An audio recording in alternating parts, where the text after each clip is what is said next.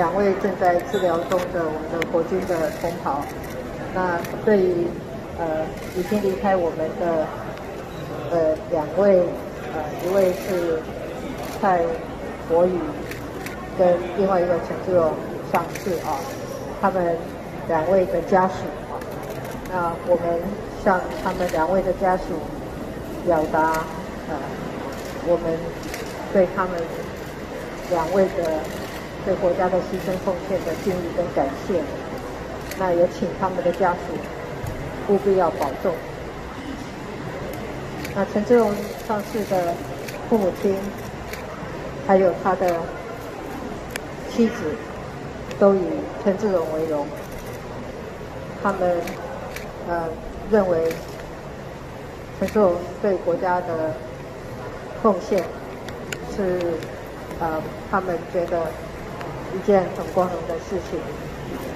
啊，陈志荣的妻子因为已经怀孕了，那我们将会给她最好的照顾，让小朋友可以平安的生产，也可以平安的长大。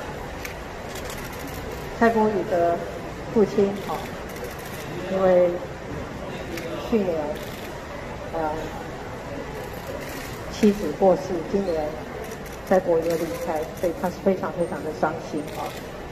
那我有请他的两位哥哥多多照顾父亲，但是他们两个家庭都非常的为他们的子弟为荣。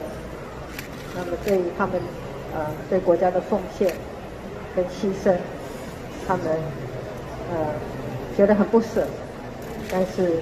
呃，在同时，他们也觉得，呃，有这样的子弟，他们觉得很光荣。至于两位正在呃正在接受治疗的呃我们的同袍，一位是阿马勒，他们也跟他的姐姐表达慰问之意。那阿马勒的状况是。他现在可以自主呼吸，但是需要有机器的协助。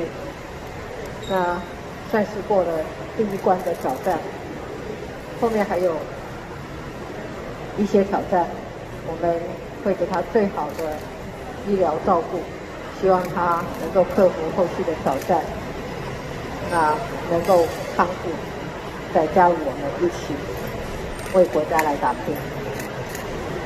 另外一位，呃。我们陈若莹中士啊，是个年轻的女生，呃，她呃在她的她应该属于轻伤，那她吸入了一些海水，她的肺有在发炎。不过我们现在呃看到院方对她的照顾很好，呃，她的情况看起来呃也不错，那我们希望她能够早早康复。那我说，我问她说。会不会因为这一次的意外呢，呃，使得他呃将来服役心里有一些困难？他说不会，啊呃恢复以后，他将会返回他的工作的。有受伤的弟兄姐妹，呃，我深感沉痛、哀伤不舍。我们所有的国军弟兄姐妹为国家的奉献。我真的很感谢他们。意外事件呢，我们呃相关单位都还在调查当中。那我们也请国防部务必要调查演训能够有效，而且不会有不必要的这个呃意外。那另外，我等一下呢会去。我们海军陆战队的指挥部，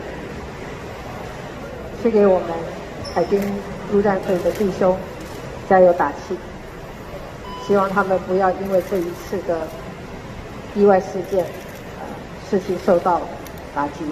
啊，也请我们的国防部对家属的后续的照顾，能够以最高的标准、最好的待遇。让这些家属在后续的生活上没有担忧的地方。